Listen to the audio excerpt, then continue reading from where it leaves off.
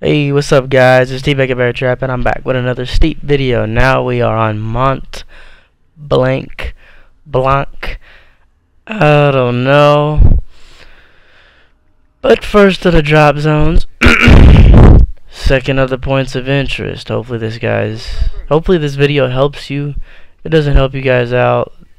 I don't know what to say, but I got a link in the description for the coordinates of all the points of interest on every region, so hopefully that would help if the video doesn't help.